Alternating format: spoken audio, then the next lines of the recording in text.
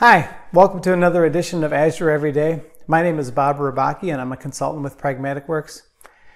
And Microsoft recently announced in a blog post the availability of machine learning services with R inside the Azure SQL Database platform. And this is a really big deal, and so I wanted to talk about that today. Uh, so the reason it's a big deal is because uh, if you're familiar with the Azure SQL Database platform, we know that it has very close feature compare feature parity, excuse me, with the on-premises version of SQL Server, meaning that most anything you can do with the on-prem version of SQL Server is available in Azure SQL Database.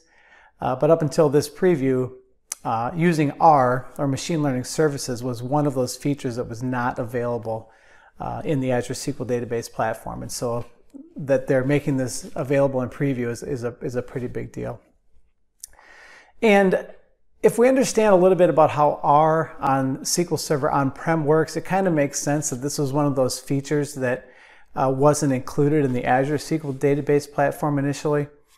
And what I mean by that is, in the on-prem version of SQL Server, the R service, while it is integrated with SQL Server, we can initiate R scripts and we can train models in R from SQL Server the R engine is actually running under a different process. And so uh, it's running under a different uh, context.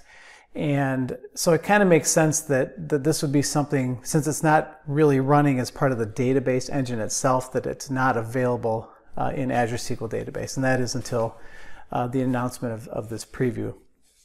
So this is a pretty, pretty big deal. Um, Couple notes though, uh, with the preview right now, it's only available if you're using the vCore pricing model and not the DTU model. Uh, so if you do have databases on the DTU model, you can convert those to vCore and then um, you know use the R services that way. And as a preview, it's only available in selected regions right now, so this is not uh, broadly available. Right now, this is only R. Uh, my guess is that at some point, uh, they would offer Python support as well, since we have that in the on-premises version of SQL Server. That's my guess. Uh, but as of right now, this is only for R services, and it's in preview.